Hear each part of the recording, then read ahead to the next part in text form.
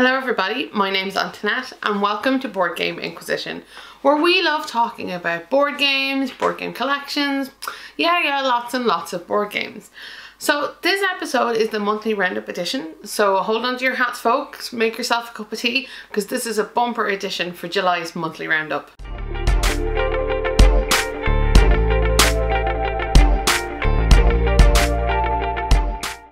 Hi everybody, it's good to have you here again for another monthly roundup.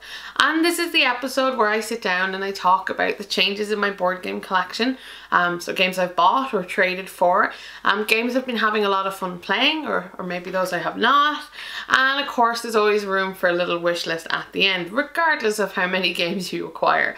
So I hope you'll play along at home with me, um, I really want to hear in the comments below um, you know what you've been playing, what you've been buying or maybe stuff you're looking forward to. Um, so Gen Con is out this week, maybe you have some picks from there you'd like to get or if you're not at Gen Con like me, you know, I guess we'll just enjoy our own games at home. We, we don't need anything new and shiny, really. Um, so this month has been crazy. Um, in lots and lots and lots and lots of ways. Um, of course, on the board game front, I guess this all comes down to the number of trades I've managed. Um, and I suppose I'll get into that in a little in a little bit. But on a whole, there have been a lot of board games um, go through my hands. I'd also like to highlight that I had a holiday last week. Yes, a holiday. And by holiday, I mean a week where the entire plan was we just got out of bed and played board games in our pajamas for the day. Um, I don't really have high expectations. And while the week didn't work out exactly as I'd intended, as it currently stands, right now, ignoring review copies, I have played every game in my collection once. I have no shelf of shame. Um, and while at times it was a bit of a slog trying to push my way through these games, I'm really, really glad I did it because there's such a wonderful feeling about going, there's none of them I don't know about. Now I can decide what ones I want to play more of, what ones I might want to get rid of, ones I really, really want to keep, you know, so it's a satisfying feeling. Um, I'm 100% certain it won't last very long, um, mostly because I know I have two more trades on the way at some point soon. Um, but for now, it's kind of a, it's a, you know, a mellow spot. And I guess I'm going to ask you the question, have you ever played everything in your collection? Like, I know when you're starting out and you're just buying games, of course you play everything, but then you get to that heady, crazy collector's phase where you pick up a bunch of stuff and maybe this is on special offer or this is second hand and you haven't got around to playing them all yet. Um, so I'm curious where you lie on this. How many games are on your shelf of shame? Um, I hate that it's called a shelf of shame. I think that's terrible. There are like tons and tons of reasons why people haven't got to specific board games. Maybe you need a certain amount of players. Maybe you need an, an amount of time. And that shouldn't stop you from wanting to own the game and giving it a chance someday, just not as often as you would like. So I hate that phrase, shelf of shame. Maybe it's just like unrecognized potential shelf. I don't know. Okay, so I guess you're here to hear about the games and not just about me. So I'll start with the first part of this monthly roundup, which is games that I've bought. Um, and this is a very, very small pile. Um, I'm proud of that because I did say I didn't want to buy as many games, correct? But there have been a ton of sales going on at the moment. Don't know if you guys noticed. Um, there is in fact a Board Game Geek um, forum you can follow which will tell you when there are special offers. It's both a blessing and a curse. Um, and so I kept finding all these offers um, and I couldn't help but go and, you know, have a root. So the first game we bought, and it's the only game that wasn't on special offer, is Welcome To from Deep Water Games. Um, finally, I own a roll and write game, like in the flesh, peoples. Yay! I actually got to try this at a friend of mine's house, and I couldn't stop thinking about it you know, I just, it kept popping up in the back of my mind. I was like, God, I, I really wish I could play Welcome to. Um, and so patient, patiently waited um, and eventually decided to get a copy. And what's really funny is I got a copy just to get free shipping on a sale item. So, uh, despite it not being on sale. Um, so far, I really like Welcome to, and unusually enough, it's the only game that I've tried solo that I think I would try again hold on to your horses. I know I know that's weird. Um, I have a bit of an obsession with trying to be a solo gamer. Um, I'd really love to be able to play games by myself. I have the time to do so. And on various occasions, I've tried all sorts of games that, you know, other people enjoy as solo games. Like if you're interested in, in starting in solo games, I have um, a post on my website about the top solo games that kind of people recommended when, when I asked. And I think that's a really good place to look and start. So if you want, you can check that out on my website. Um, but beyond that, I just, nothing fit me. nothing felt right. Um, and Welcome to is the first where I, I actually, I kind of enjoyed it. And I think it's just because there's a procedural element to it, but still a logical one. I don't know how to explain that. So Welcome to is, is a, a, game where you have a piece of paper with a bunch of neighborhoods and your job is to number the houses from one to another and put them in groups so that you can score points. Um, yes, obviously there's more to it than that, but that's it at its core. Um, and I just found something very cathartic about how you made these streets um, and kind of try to, and I, well, I love games that are goal orientated. So I love a game that tells me do this and you can win and Welcome to just does just that. Um, it was definitely tougher solo than it was playing with more players because the you know deck runs out quicker. Mm. But so far it's been really really good so I'm really delighted that I did get to pick that up. Okay, apart from all my solo gaming tangents. So here's what was in the package with it that was on sale um, and that we added Welcome To to get us free shipping. And this is a game called Petrichor. Um, Petrichor is one I've seen a lot of pictures of on the inter on the internet, um, and it seemed to be like with a beautiful floating cloud with weather symbols, and it seemed to be about about clouds and the weather. Um, in case you didn't know, petrichor is like the smell after rain. I think that's its definition. And it is indeed about changing the weather and making things grow and kind of moving around in your cloud um, and interacting with other people. It's a very unusual um, style of area control game, one where you can kind of share places together and get in on someone else's place. And I found it kind of interesting a little bit fiddly. I think it's going to need another player or two. Um, but it does have something there and it was really, really cheap. So that always, that always bodes well for games. So that's Petrichor. And then the final game um, I bought also on sale. Um, only came up last Saturday and I spotted it. And this is Transatlantic. And this is from the designer Mac Gerdts, who you may know from Concordia fame. Woo! And actually this one is one that's been on my wish list for a bit. I have a lot of older games on my wish list. And when I say older, Transatlantic is only like two years old, maybe three. Like, but it looks like one of those Rio Grande games from the early 2000s. Um, not sure why. But so Transatlantic is a game about shipping across the Atlantic um, and you buy boats um, and you kind of make money. Um, you know, it's, it's all that kind of stuff. And I wondered, would it be as special as Concordia? You do have that hand of cards like in Concordia. So you, all of your actions are one hand of cards and as you play them, they go away and then you take your hand back. Um, it's much more chill. I like the theme a lot and it was kind of a very kind of fun adventure to play Transatlantic. My main issue was that during the game I really felt like I was missing some key concept. You know, there was, I was like, I'm, I'm missing something I know I should be doing and to prevent my opponent winning, but I'm not really sure what it is. Um, so I'm very eager to play that again. I, I liked how light it was. Um, you know, despite having plenty to go on, it's definitely like an economic game. You know, do I buy this ship now because it'll give me so much money later? One of those, one of those. Um, but I was impressed. Um, I liked it. Um, so that was Transatlantic. Okay, so there are all the games I bought. Three games and only one of them was like accidental the others were on sale so that's completely legit so I've got some new review copies that have come in this month um, that I'm really looking forward to as well um, I'll share those with you so the first you can actually see in the background the board game book. Um, you may have seen this come up on Kickstarter um, the end of last year, I believe. And obviously it's a book, it's about board games. Um, it's kind of like one of these coffee table books. Um, it's got some stunning um, pictures in it. It's also got some really good writing. I'm still working my way through it. Um, but it's something I actually really wanted to back at the time. I very nearly backed it. But as you guys might know by now, I pretty much back nothing on Kickstarter.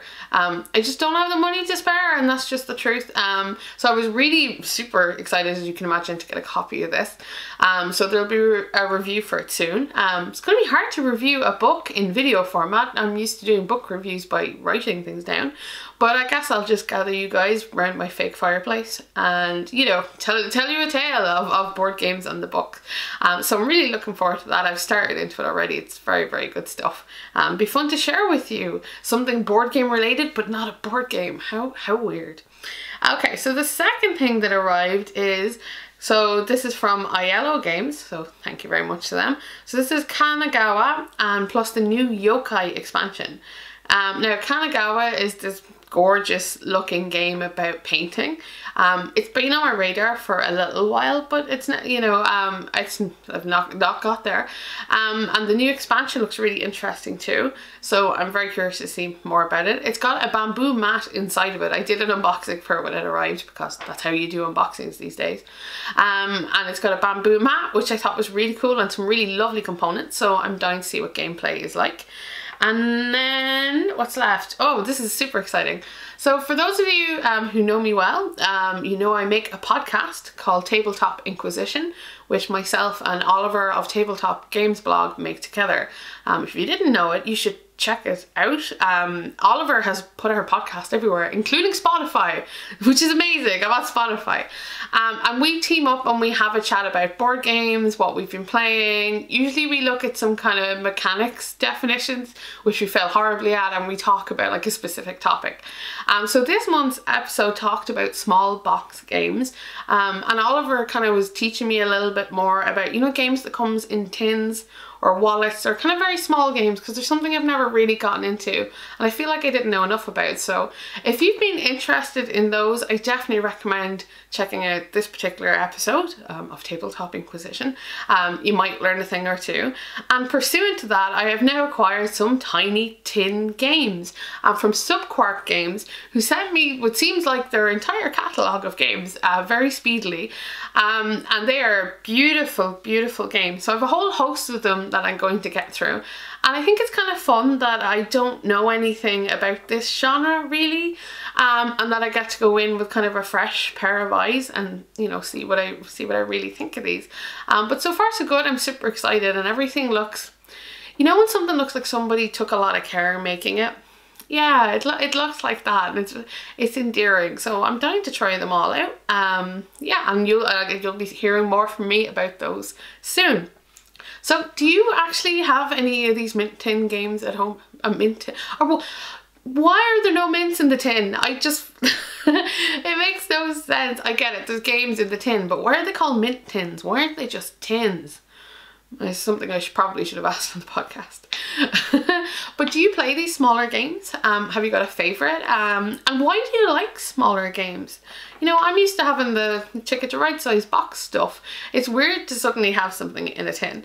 Um, so I'd love to hear your thoughts on that because it's one that's kind of perplexing me. I don't understand why I'm being not quite biased, but definitely not as open to the idea as I wish I was. Um, I think I just don't know enough yet, so I'm gonna, gonna work on that. Okay, so that's been all of the new games that have landed. Way. Um, so yeah, some more, more, more things I have to to play. I say that with such sadness now. I just think this moment of having nothing left to play is nice. It's nice for a little bit. Okay, so what did you guys um, buy this month? Did you find anything in your in the sales? There were a ton and, and tons and tons of sales. Um, you Americans are lucky. You guys have all the good stuff in your sales. Um, but for us, I suppose it wasn't too bad. So the next step, and this is where the month explodes. Um, and this is in trades. So as th those of you who watch know I like to trade a lot. I think there's nothing more satisfying than getting rid of a game you didn't want to play and getting one you did. And we try trade all of the time. Like literally all of the time. And a lot of it's it's very hard to find people to trade with. There's no lying about it. Like, you know, we send out 10, 15 requests and maybe get one and I that may be me completely, you know, fluffing the numbers there. But this month was hilarious and I'm not joking when I say that we made one, two, three, four, five, six, seven, eight, eight trades within the space of about 10 days. Um, and it got to be hilarious. It got to the point where the first one got accepted and we were like, yes, this is so exciting. And then we put in for another and it got accepted too. And we're like, ooh, no way that's going to happen for the third. No, no, no, no. And then the third went through. And then we're at the point where we should probably stop trading now because it does cost money to trade. It costs money to ship a game. And it costs us more money than most because we're further away. Uh, so we're like, we probably should stop. And, uh, and then we're like, ah, oh, but there's no way a fourth one would go through. no, no one happened. And then the fourth one went through and then the and then a fifth one like literally within the space of half an hour and we're just like oh my god what is this and then you see I was like I can't stop doing this until somebody refuses us because this is this is clearly the the golden age of trading um, and so I got even through even a further trade. And uh, this is the point where we were like, okay, now we have to stop. but it was insane. It was absolutely insane. I've never had things work out this nicely. So I got a whole host of new games and I got rid of a lot of my older ones. And now I'm going to tell you all about them. Okay, so the first trade of the month was as follows. We traded away a copy of Claustrophobia. Now this is the older one, not the newer one. Um, I really, really liked it. It's a two player only dungeon crawl but two player only games don't work well in our house, just just generally speaking. We're not evenly matched, so that's why Claustrophobia didn't get played. And Mystic Vale. Um, now Mystic Vale had an expansion with it as well. Mystic Vale is a card game where you can alter your cards by adding in like sheets of, of laminate um, to give them special bonuses and stuff like that. And we liked uh, Mystic Vale quite a lot when it first came out, but then it just it became more fiddly the longer you played with it. Does that make sense? Um, so that went for trade. And in exchange, we got Snowdonia and a whole bunch of expansions for Snowdonia. now, Snowdonia isn't quite what I thought it was. Um, I heard it was a train game. Um, technically that is true. But really, it's kind of a I don't want to say an economic game, but it's very it's, it's, it's very different than what I anticipated. So Snowdonia has a board, which is a map of a mountain, okay, and your cards and things sit on there. But then around the edge of the board goes like your train track essentially, and you're digging your way into the mountain. Um, and the first person to get to the other side of the board, so you go all the way around the outside, like, um, ends the game. So it ended up being more of a race game than a train game, but also you had to manage your resources, of course, to be able to go and do digging when you needed to and things like that. Um, I loved it. I thought it was great, um, but it was just so different than what I had anticipated. Um, and a lot of the older games I've been trading for, I don't know too much about, but I know people speak highly of. And I don't mind knowing that little bit because I think sometimes if you know too much about a game, it gets rid of all the surprise. You want to know enough to go, I'm pretty sure I play this and enjoy this, but I don't want to know, you know, strategies, in-depth rules, all of the pictures, all of the items. I want a surprise when I get my board game to me. So Snowdonia did that pretty well, um, and I really, really liked it. So it was really good stuff. Okay, second up, um, so we traded away a copy of V Commandos, um, plus an expansion for V Commandos. So V Commandos, as the title may suggest, is a game where you are a group of commandos and there are a series of scenarios you have to go in and complete. Um, the game is definitely more about being stealthy and cautious than it is about shooting people up. Um, so you could, um, and we found it hard at two players that we had to play two characters each. Um, one wasn't a big fan of that. We found it a little easy as well, but it is a co-op game and we've a tendency to hammer co-op games into the ground. Um, so I'm not surprised that this got shifted on. Despite it being a really lovely game, I could see why people would enjoy it. It just it just didn't suit us. And in exchange, we got a copy of Arcadia Quest Inferno and a copy of Takenoko. So Arcadia Quest Inferno seems to be some sort of variation on Arcadia Quest. Um, I've not played Arcadia Quest. This is one of these games with a lot of miniatures from CMON. It's a dungeon kind of crawler thing. My husband's been very eager to try one, but to be honest, I haven't had any luck with kind of miniature games from CMON. We have a copy of Rum and Bones um, Second Tide, and we had the first edition as well, and it just didn't quite gel right with us. But Arcadia Quest was a, a real surprise. Um, I actually really enjoyed it. Yes, it's a dungeon crawler in the sense of it's like Gloomhaven, you go around the map, you do things. It's not cooperative, but you have quests to do. So you kind of want to do the quest, but also if you kill your opponent, it's worth points to you too. Um, so it isn't directly confrontational. It seems like more accidentally confrontational, which is kind of cool. And we had lots of abilities that move the monsters on the map to attack each other. So that wasn't personal either. That was good. And you make money, um, which you can spend for items on your characters at the end of each um, end of each session you have, which is really cool. I'm not a big fan of the cheapy miniatures with boobs out to here. Um, just a little bit off-putting, but the characters themselves are really interesting. They've got some cool abilities. And you know what? It was just a lot of fun to play. It was a lot more fun than I was anticipating. Um, so that was Arcadia Quest Inferno. And then Takenoko, which is seen, has been around a long time. I didn't realize how old Takenoko was. Um, is the game about the panda in the garden, eat, eating with the gardener eating the bamboo. Um, yeah, I think I think that's basically that's basically it. It's just like a little, not quite area control game, but it's a you know meet the conditions game within these following strictures. So you know you grow bamboo, the bear can eat bamboo. You lay down tiles to make up places. You have to irrigate them you know, that, that kind of stuff. Um, very light, very fun, very breezy. I played it once a long time ago and I didn't realise it was on um, my want and trade list. I think my husband put it on. I think he liked it more than I did. And uh, you know what? I, it played much better than I remembered it. Has that ever happened to you where you've played a game and then you're like, wow, this is this is so, this is so much better than I thought it was. Or you know, when I when I played it last. Um, so Takenoko had that effect on me. It was very it was very cool and very chill. So happy with both of those. Okay, so next up in the trades is Gillisaur Island. Um, so that's the two player only version of Dinosaur Island where you build a dinosaur theme park. And Newton. So this is a Simone Luciani game what's Newton even about other than all of those tracks? Newton has the potential to be an amazing game, but I think it's just slightly too busy. It's got one too many things going on. Newton seems to be about getting money for doing research, um, traveling around for researching things and filling out your bookshelves. Yeah, I know, it's a kind of a broad idea here. Um, but it's got a lot of good in it, just none of it really gelled together very well. It was just one too many tracks for us. Um, and I can see a lot, a lot of people like um, a lot of people seem to be warming towards it in a way we didn't. And I think that's just because we prefer some of Simone Luciani's other designs to this. This one just felt, it felt like, you know, throw every idea I have at a wall and see which ones stick.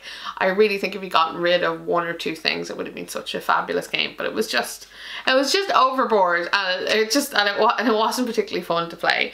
So that's Julius Island in Newton. And here's what we received. So first is Gentes. And yes, I looked up how to pronounce this correctly. Apparently in Latin you pronounce the G like a J, so gentes. And ah, there it is. Sorry, sorry. For a minute I was like, there was something else I learned how to pronounce this month. Why isn't it on the list? It is. It's just further down. So gentes, um, which is a civilization game, um, I guess. Um, where you're kind of building up the right people to help you build the right things. You spread out on a map as well. Um, it blew me away. I really, really liked Gentes. It was very, very cool. Um, I liked the way the card system worked. I liked how I liked how easy everything was to do, but that there was a bunch of strategies you could had uh, have and then there's like a the little map in the middle is almost like a Concordia map. So like at the end of each round you would get something from each region you were in. Um, but if you placed a house down in the region you were already in, you would get to trigger the other one. It would ha it had a bunch of like small little mechanisms like that that really complemented each other nicely. Now I'm not describing it particularly well here because I'm like, what is the theme in Gentes? Yeah, it's definitely civilization. You have people, you create things. really have you create wonders. Um yeah i'm not I'm not, not really doing it justice but it was fantastic. I really like gentes. And with it came inuit the snowfolk. So this is a fairly new release um, from the same company that brought us um, Teotihuacan and things. And I saw it I think must have been last year at some point where I saw the art. Um, it's this a, well, it's a it's a tableau builder. is basically what it is with some beautiful artwork. Um, and you are indeed like this the snow folk, and you have you have people kind of in your village, and they'll do particular things. Um, and you go out hunting animals and stuff like that. Um, I'm not sure how happy I feel about the theme. The game itself looks lovely. Um, and the gameplay actually was better than anticipated. I thought it was just going to be some kind of set collection game, but the fact is you put everything into particular rows and then the more you have in your rows, the more benefits you get. You know, sound familiar? Yeah, it, it is. Um, but it was pleasant. Um, it, it wasn't terrible. I just, I don't know if I like the idea that part of what you do is, you know, killing seals and polar bears. um, so it's a strange one like that, but it played well. Um, I'm not sure how well it will sit with everybody, but um, I, I kind of liked it. It was, it was all right. Um, Okay, so next on the list, oh yes, this is the, the package that went missing. So we traded away Keyper. Um, so Keyper, as you may know, um, arrived literally like a month ago here um, because we loved Key Keyflower so much. Um, and Keyper was a, a worse version of Keyflower flower, um, is what was what we thought. It had all these cool elements to it where you, um, so basically Keypers, you run a village, you build up your village. It's very Uwe Rosenberg kind of thing. Um, except this one had like barnyard animals and stuff like that. The problem was the goals were really short term instead of long term. And it had a, a board you would change between seasons that you would morph into like different configurations, which on the surface sounded kind of fun. On the, you know, the real world, really, there was only two choices you were making between one or the other. And maybe it was just because we played it two player, but it was kind of it felt really flat. Um, as in we only played it once and we had no interest in playing it again, which is really shocking because we love the other key game so much. Um, so that's that's why Keyper went off for trade. Um, and in exchange, I got Firenze. Yeah, yeah, Firenze. Yeah, I, I went to the internet for pronouncing this one too. Um, you do pronounce E, so it's Firenze. Firenze? There we go, probably that. Um, so this is a game about building towers. Um, it's very much a Euro game. Um, you do in fact build towers out of tiny bits of wood and you have cards to help you do all this and you manipulate kind of the, the colours of your towers and stuff like that. Um, it's very it's it's very good. It's much lighter than I had anticipated. I thought this was much more of a heavier dry Euro game. It's much more of a medium weight dry Euro game. Um, I still liked it. Um, I just I think by having it be that bit lighter, it puts itself in a slot with other games. Um, that'll give it a lot of competition. So we'll have to see how it holds out. I'd like to play it again, but it really reminded me of something like Bruges, but simpler. Um, even the board had the two-tone um, colours going around the outside for, you know, your score markers um, and that and the similar kind of cards to maneuver things. But overall, um, I quite, like, I had fun, I had fun with it. I have nothing against um, Firenze. Firenze? Ah! But um, I'm not entirely sure how special it is. So, mm, there you go. Um, this is still going. I may, if you want to go get tea, pause now, go fetch yourself a drink. Okay, so next up, um, we traded away um, a copy of Alien Artifacts from Portal Games. I spoke about this, I think, last month that I played Alien Artifacts. Um, Alien Artifacts is a great tableau builder. Um, yeah, it's basically what it is, and you combine things together to make cool things happen and get victory points and money. Um, but the problem was we felt it ran a little too long for what it was. I still think it's a very good game. It's just I really needed it to be a little shorter to end a little earlier. Um, so hence why it's on the trade list. And then the other item that went with it was um, a Perdition's Mouth Abyssal Rift, um, which I reviewed. And I while I really like that game, it's a very big dungeon game and I don't see it getting to the table in our house. We're definitely focusing less on bigger games, more on smaller things or you know games you could play in an evening after work. Um and just I'm not we're just not big into big dungeon games. I think you know once you have Gloomhaven it just kind of finishes it for you or at least it it did for us I think until we finished Gloomhaven. Um god knows when that might be. Um that you know that's it that's the dungeon slot. It makes it very tough for anything else to get in there um despite them being very different games. So in exchange we got a copy of Tokyo Highway so, as you may or may not know, Tokyo Highway is that game you see the pictures of with all the lollipop sticks and the tiny cars and the tweezers. I'm like, tweezers!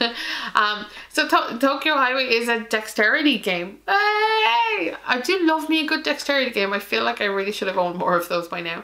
Um, so yeah, what you do is you build your little highway out of lollipop sticks and roundy things and they balance on each other. And every time you can get a stick to go over an opponent's stick with a car on it, you get um, to place a car on your own one. And you can see where the hilarity ensues here. Um, it's very difficult because it's quite tiny. They give you giant tweezers to move your cars around, your tiny cars on your tiny track. And if you break someone else's track, you have to pay them and then you have to try and reconstruct it. We've played two games now and both times it's just because the other person has given up on attempting to reconstruct the track. um, but it's been really, really fun. So, did you know that Tokyo Highway um, doesn't always come in a four player box? Because every time I've seen it, it's been in a big box, right? So I assume it was four players. No, no, no, I traded for it and it turns out there's a two player only version that I did not know about. So don't feel, I only feel a little bad because it was my own fault for not checking first. But yeah, there's a two player only version of Tokyo Highway. Um, and I'm going to keep confusing it with Tokyo Metro, so please don't hate me. They're very different games, very different games altogether. So that was Tokyo um, Highway. Um, it was super fun. I would highly recommend that. That was really good. I wish I had the four player version because it would be mad with more players um, in a crazy, crazy good way. And then we also got with this trade, got a copy of Dungeon Twister. Ha ha. The title says it all, doesn't it? This is what my husband really wanted to get um, and I was not sure about because A, I've not heard about it, but B, it's a one-on-one -on -one game. And we've had discussions about these before. So in Dungeon Twister, um, and might I add, the game looks like it's something from the 90s and is made for like a 10 year old because it's got all these tiny cardboard pieces. Um, the aim of the game is to get your guys from one side of the board to the other to make points. And you get points if you can, extra points if you can carry an item with you from one side to the other, or if you can kill one of your opponents. Um, and the problem is that you can rotate the squares the dungeon's made of. yeah, it's a maze that you can rotate. You can see where the fun and the hilarity comes from this. Um, I did manage to win the first game, which is kind of nice. But if it's very fiddly. Every time you want to rotate the board, you have to literally like lift it off of the table to twist it. I think there's a lot of fun to be had here with the right people. Um, this would also make it an amazing video game, but for us to play, it, was kind of tough. Um, and I was like, I think our time could be spent better on something else. But as a whole, I think it's a cool idea. Um, and the game itself actually plays quite well. So maybe you're into that kind of things, you know, or you know someone who is, so you can play one-on-one. -on -one. um, okay, so, still not there. Right, next up. So we traded away a copy of Dinosaur Island. So unsurprisingly, since Dinosaur Island went, so too did Dinosaur Island. Just felt it was a bit meh. like the problem I have actually with that game is that everything about it looks so luxe and exciting and inviting. And I'd look at the box and be like, I really want to play this. Up until the point where we'd everything set up and I'd be just like, oh, is that all we're doing? We'll just buy another dinosaur or do another thing. Um, to me, it was just too basic, um, and yet there was so many parts to it. Um, and I really, really wanted to love Dinosaur Island, but I just, I just couldn't find that place for it in my heart. It's just, it wasn't happening. So it's moved on to greener pastures, and I've traded that away with a copy of Euphoria: Build a Better Dystopia.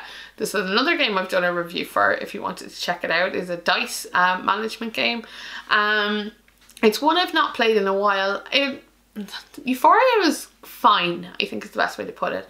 And it had a really cool theme and some very cool dice, but it just didn't stand out. Um, so hence, hence why it got relegated. Okay, and in exchange we got a copy of The Networks. The Networks is a game that always comes up, that I always hear people talking about or seeing pictures of. Um, and so I was super keen to get myself a copy of The Networks. And what the networks is about is that you are an executive of a television station and your job is to kind of fill uh, particular shows into slots, um, kind of with advertising and things like that to make you as much money as possible at the end of the day. Um, to be fair, it's kind of glorified set collection um, with some extra elements added in. Um, and the idea of the TV station and the shows you have is really cool. They're really, really funny. I, I actually really like the, the TV shows. For two players, it just ran a little long. maybe a lot long um, for kind of for what it is, um, you know, which is a set collection game at the end of the day. I think it's very cool. I, I just think I just think it could have been a little bit more, but I can kind of see what market they're aiming at. So, you know, I'm not going to be ashamed if I see somebody else with a copy of the networks on their shelves. I think it's a good game. I just don't think it fits kind of where we're at in gaming right now. So that was the, that was the first thing that came this week and, and it's pretty much ready to go this week. And then we got um, Tokyo Metro. So I'm sorry for mixing it up with Tokyo Highway, but they both begin with Tokyo. Tokyo Metro blew me away. That's the best game I played all of last week. And there was some tough competition. So Tokyo Metro is a map of the metro in Tokyo and you're investing in trains and in stations on train lines to try and make money. it's amazing and it's beautiful and the components are stellar. Absolutely stellar. I've never seen anything like it. And we had so much fun running our trains down the lines and trying to collect money and beat each other out and invest in each other's company to prevent each other getting more money. It very much reminded me of something like acquire um, and as you may or may not know, Acquire is, is, something I'm a big fan of with stocks and shares and making money. And it's a little like that, but it's combined with like Ticket to Ride and route building, which makes it even better.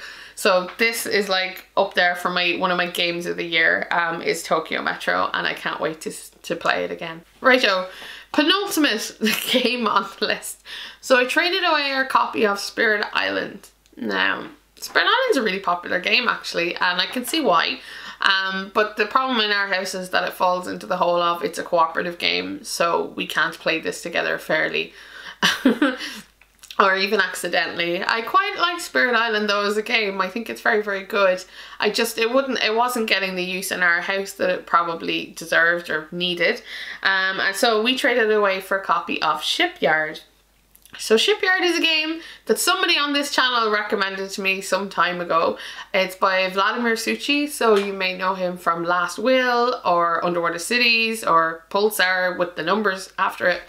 Um, and so far we've not had a good run with his designs.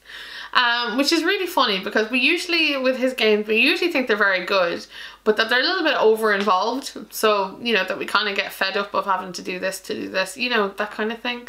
So when somebody recommended this to me, I was like, um, I'm not so sure, but you did recommend it to me. And I do like the idea of a shipyard, so we went with that. So shipyard um, is, it's not too involved. There are a lot of small chits. It's got a horrible setup. But beyond that is you own a shipyard and you are building boats um, and you're trying to earn points by having them on their little maiden voyage in the archipelago you build. Um, score all the points you've set up. Now, the very special thing about this game is the, the roundel style, um, and if I tried to describe it to you, I think I might fail, but it's roughly that there is a choice of like five or six actions, and when you take an action, your meeple goes on the one you took, so no one else can take it. But then at the end of the round, your your token is moved to the front of the queue and you can't use it a second time again. And you have to pick from somewhere else. So it's like this horrible mishmash of I want to do the thing, but I can't do the thing.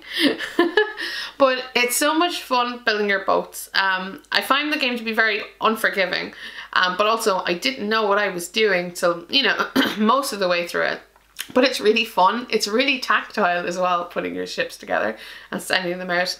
And they were it was amazing really. It was it was really really fun. Much better than i had anticipated. So that was shipyard.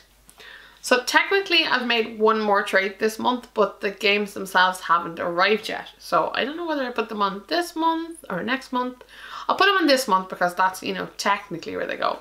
So I traded away a copy of Coimbra Coimbra is kind of the the dice tableau building game where depending on what you roll you get to have particular nobles um, and then you can get combos from them, defend your city, that kind of stuff. It's really, really pretty. Um, the problem I had with it was the nobles you could choose from are set. So you have to play with all of them every game. I think it made it really bland. I think if they could have had like said if you take out five nobles each game and you don't get to play with those, it would really really have helped it. Um, but to us it just felt a little bit dry.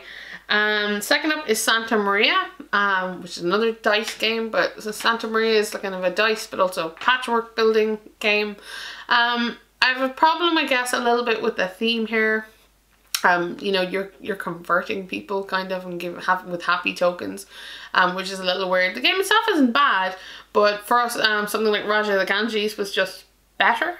So there you go, that's Santa Maria. And last place then is Wildlands from Martin Wallace, and that just I don't think that works well at two players. I think you need like you need a group of people to be playing that with. With the two of us, it felt like this horrible kind of tactical, I don't know, it just felt like we were picking on each other for fun. Um, and the map itself was very hard to read and to follow the numbers. That was one of the big um, stipulations we had. Um, I think that actually that the factions in it are really cool and the decks and how you play them are really cool. But I think it worked better with more people where it's less important exactly what you play at any time because, you know, there are other people to compensate. Um, and so that's why Wildlands is down on the trade list. And so in exchange, two games are on their way. Um, and I know a little about these because they've not got here yet. So the first one is First Class.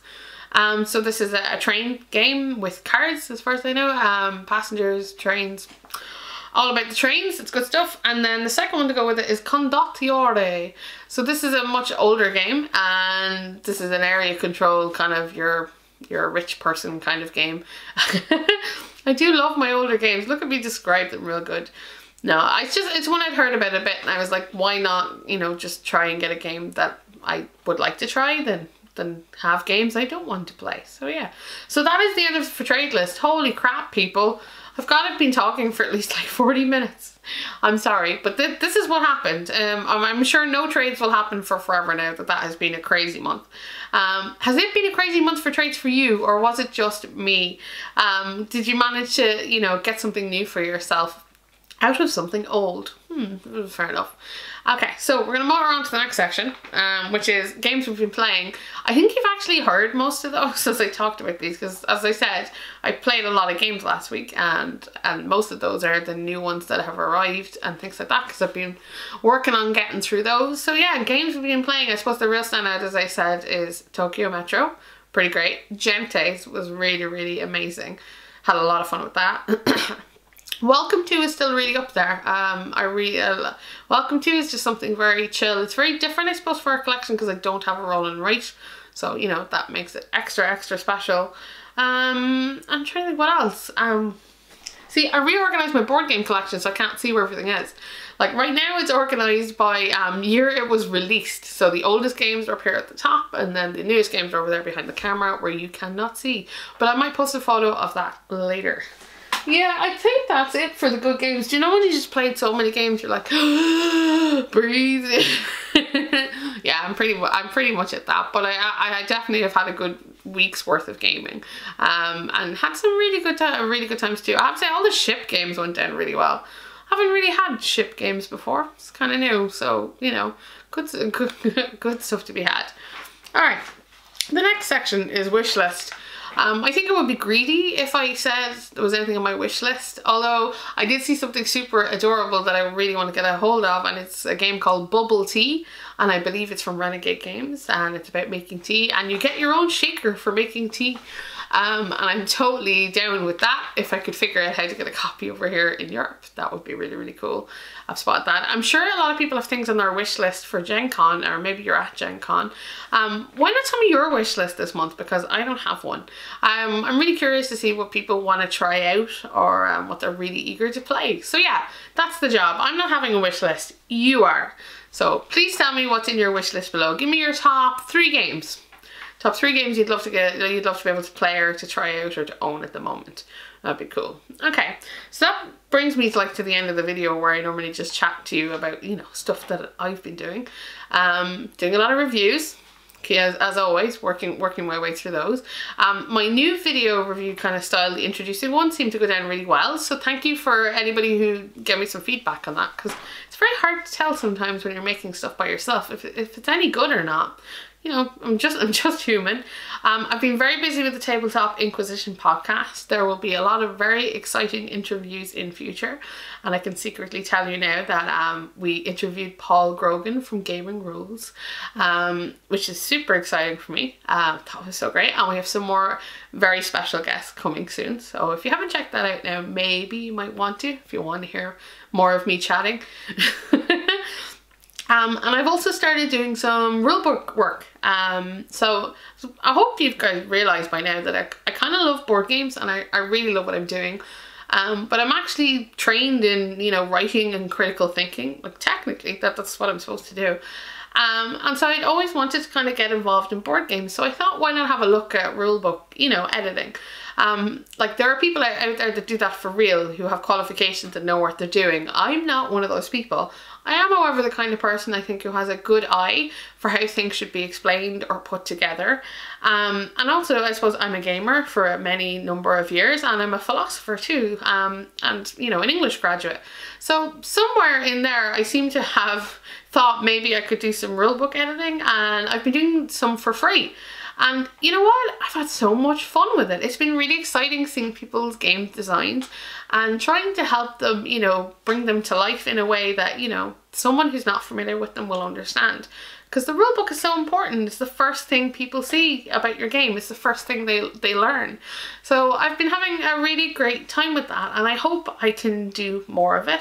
Um, for now I'm going to continue with my free stuff and then we'll see if, if people feel like I'm worth paying because you know that would be my dream job right there um, just, you know, doing something with board games. So yeah, it's been busy. It's also been a really long month. I, I've been waiting forever for this month to turn over. Has it been five weeks, five week month? Maybe it's one of those. Eh, I don't know. Maybe it was the holiday. the holiday that never was. But yeah, so um, lots of gaming been going on things going pretty good and I'm very curious to hear about all your stuff too. So thanks as always for watching. Um, I really appreciate all of you guys. And yeah, until next month, I suppose. Or in the meantime, you could just say, come say hi on Twitter or Facebook or any of those magical places. Um, I'm always there. And I love talking to people. Um, and I love hearing what you guys are thinking about. So, you know, come say hi. And until next time, I'll be here playing games. Yes, yes, playing games, asking questions. Guess that never changes, does it? Um, and now I've gotten the end of my spiel, playing games, asking questions, and perusing my collection. Well, I'm not perusing it now, it's rejigged. I don't know where anything is.